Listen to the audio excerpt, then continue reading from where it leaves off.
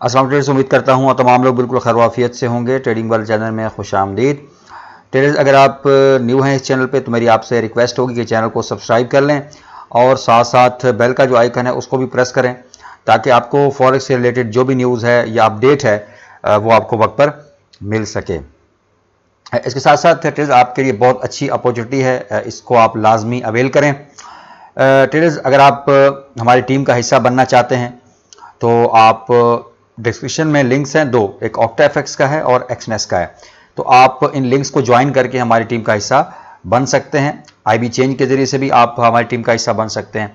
तो इसमें आपको जो हमारे वीआईपी सिग्नल्स हैं, वो आपको जो है वो फ्री ऑफ़ कॉस्ट इसमें कोई चार्जेस नहीं है एक्स्ट्रा जस्ट आपने अपना अकाउंट बनाना है अकाउंट क्रिएट करना है और उसमें मिनिमम जो है आपके टू फिफ्टी डॉलर्स आपने डिपॉजिट करवाने हैं। और उसके बाद फिर आपने मुझसे रबता करना है।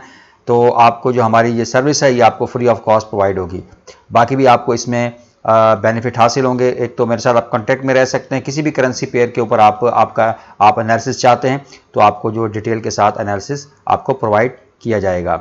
और आपकी लाइफ टाइम सपोर्ट भी आपको हासिल होगी अगर आप एक्टिव रहते हैं तो। तो मेरा आपको मशवरा होगा कि आप बिल्कुल देर ना करें और जितना जल्दी हो सके आप हमारी टीम का हिस्सा ज़रूर बने। नेक्स्ट बात कर लेंगे ट्रेड अकाउंट मैनेजमेंट की, और अगर आप अकाउंट मैनेज करवाना चाहते हैं, आपके पास एक अच्छी इक्विटी है, और आप ट्रेड करना नहीं जानते अगर आप ट्रेड करना जानते भी हैं तो आपके पास इतना टाइम नहीं है कि आप अकाउंट को अपना, इतना टाइम दे सकें। तो आप मेरे व्हाट्सएप नंबर पर मुझसे कांटेक्ट करके अकाउंट मैनेजमेंट के हवाले से जो भी आपका सवाल है क्वेश्चन है, आप कर सकते हैं, और आपको इसका तसली जवाब दिया जाएगा। तो अब बात कर लेंगे सबसे पहले ट्रेडर्स न्यूज़ की। तो कल जो है वो फ्राइडे है 22 सितंबर है। आज की जो अपडेट थी, मैं आपको नहीं दे सका था और आज भी अच्छी ट्रेडिंग अपॉर्चुनिटी थी, लेकिन कुछ मसरूफियात के बायस मैं वीडियो अपलोड नहीं कर सका। बहरहाल कल फ्राइडे है 22 सितंबर, और पाकिस्तानी टाइम के मुताबिक जो यूएसडी की न्यूज़ है वो 645 यानी शाम 6:45 के ऊपर ये हाई इम्पैक्ट न्यूज़ है फ्लैश पीएमआई की है। तो यहाँ पर देखें 47.9 है फिर उसका जो फोरकास्ट है 48.2 है। तो ये तकरीबन कोई आ, इसमें इतना डाटा जो है वो आ, अगर आप देखें 47.9 और 48.2 इतना डिफरेंस नहीं है दोनों डाटा के अंदर चाहे वो फ्लैश मैन्युफैक्चरिंग का है या सर्विस सर्विसेज़ का है। बहरहाल 645 के ऊपर ये हाई पैक न्यूज़ है तो आपने कोशिश करनी है कि न्यूज़ के टाइम में अगर आप बिगिनर हैं और आपका इतना एक्सपीरियंस नहीं है न्यूज़ ट्रेडिंग का तो आप कोशिश करें कि न्यूज़ ट्रेडिंग से आप अवॉइड करें, ठीक है? क्योंकि मार्केट में काफ़ी फ्लक्चुएशन होती है और आपके जो एस है, वो हिट होने का ख़तरा होता है। तो इसीलिए मार्केट में वोल्टेलिटी क्योंकि ज़्यादा होती है तो कोशिश करें अवॉइड करें, ठीक है? तो ट्रेडर्स बात कर लेंगे सबसे पहले डेली टाइम फ्रेम की बात करेंगे गोल्ड की। तो आज भी मार्केट यहाँ पर बेरिश रही है और उसके बाद अब यहाँ पे मार्केट इस वक्त मौजूद है 19 19 पर। तो एक चीज़, यहाँ पे आपको समझाना ज़रूरी है कि मार्केट में अभी जो यहाँ पर कंडीशन ये है कि मार्केट सेलिंग प्रेशर भी मौजूद है, इसमें कोई शक नहीं है। लेकिन मार्केट ने अभी जो लास्ट डेली की अगर हम बात करें डेली का जो इसने एक हायर लो था, ठीक है? ये भी लो है या एक पहला हायर लो तो अभी तक जहाँ पर अगर आप देखें तो इसको ब्रेक नहीं किया। तो जब तक इस हायर लो को मार्केट ब्रेक नहीं करती नीचे की तरफ़, यानी डेली टाइम फ्रेम में तो आपने गोल्ड को बाय में ही देखना है। ठीक है? ये मैं आपको एक क्लियर आपको इंडिकेशन दे रहा हूँ इस चीज़ की कि जब तक लास्ट जो हायर लो है मार्केट इसको गोल्ड इसको ब्रेक करके नीचे नहीं क्लोजिंग देता डेली की तो अनटिल आपने इसको बाय में देखना है। और एक चीज़ आपको यहाँ पर आपने नोट की होगी कि ये जो लेवल बन रहा है 1900 का लेवल बन रहा है, एक इंपॉर्टेंट एक साइकोलॉजिकल लेवल है। ये आप देख सकते हैं 1900 का। इट मींस के मार्केट को सेलिंग में मजीद जाने के लिए जो 1900 का एक बैरियर है, इसको ब्रेक करना होगा। बहुत इंपॉर्टेंट एक सपोर्ट भी बन चुकी है ये 1900 का जो लेवल है, एक होल नंबर भी है। ठीक है, हर लिहाज से इंपॉर्टेंट लेवल है। और सेकंड जो एक हमें कंफर्मेशन है, वो एक हाई लो है। पहला, अगर इसका हाई लो ब्रेक हो जाता है तो फिर ये एक किस्म का ट्रेंड रिवर्सल हम इसमें देख सकते हैं। अब तक ट्रेंड रिवर्सल अभी हम इसको फ़िलहाल अगर हम देखें तो बाय में ही देखेंगे। ठीक है? अच्छा अब यहाँ पर इसको जाएँगे फोर आवर में, और फोर आवर में मैं आपके साथ कुछ लेवल डिस्कस करूँगा, जो कि काफ़ी इंपॉर्टेंट रहने वाले हैं। तो सबसे पहले हम क्या करेंगे कि इस, ये जो हमारे पास कैंडलस्टिक पैटर्न है, इसको हम लाइन चार्ट में कन्वर्ट करेंगे। और लाइन चार्ट में कन्वर्ट करने के बाद हमने यहाँ पर एक ट्रेंड लाइन ड्रॉ करनी है।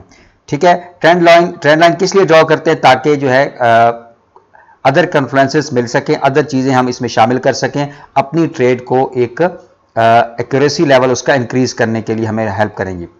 तो ये हमारे पास दो पॉइंट थे जिनको हमने ज्वाइन किया है।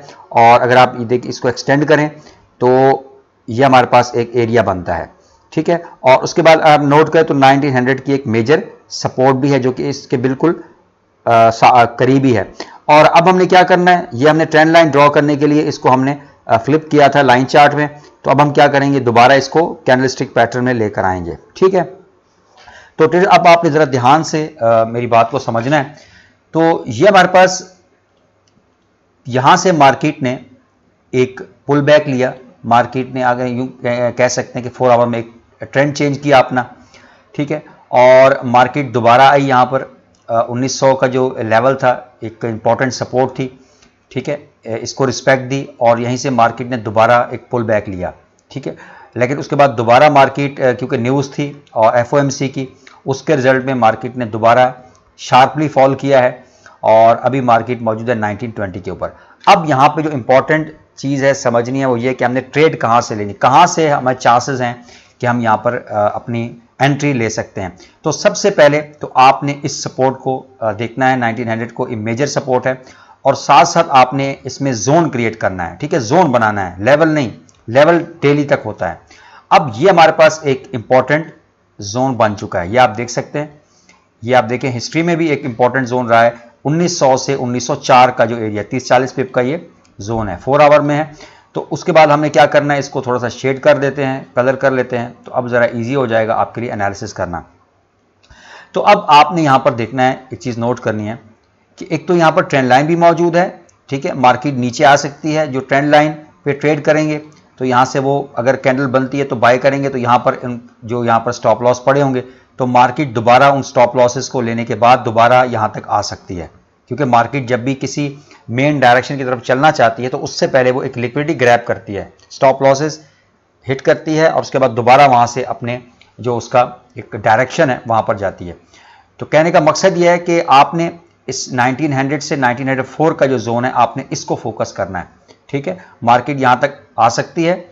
यहाँ पर आने के बाद अगर आपको यहाँ से कोई क्लियर इंडिकेशन मिलती है, इस तरह का आपको प्राइजेक्शन मिलता है ठीक है? कोशिश कीजिएगा कि अगर यहाँ पर आपको प्राइजेस मिलता है तो उसको कैंडल अगर यहाँ पर ये जो ट्रेंड लाइन है, दो कैंडल हो सकती है फोर आवर की, एक सिंगल कैंडल भी बन सकती है। तो अगर वो क्लोजिंग दे दे, ठीक है तो फिर ये बहुत अच्छी आपके लिए ट्रेड बन सकती है। यानी 1910 के ऊपर अगर क्लोजिंग दे मार्केट नीचे आती है, और उसके बाद क्लोजिंग दे देती है 1910 से ऊपर 1910 के ऊपर जाके क्लोजिंग दे देती है तो फिर ये आप लॉन्ग टर्म इसमें ट्रेड होल्ड कर सकते हैं, ठीक है?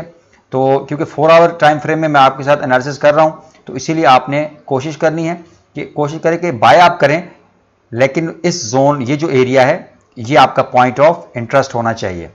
ठीक है? पॉइंट ऑफ़ इंटरेस्ट होना चाहिए।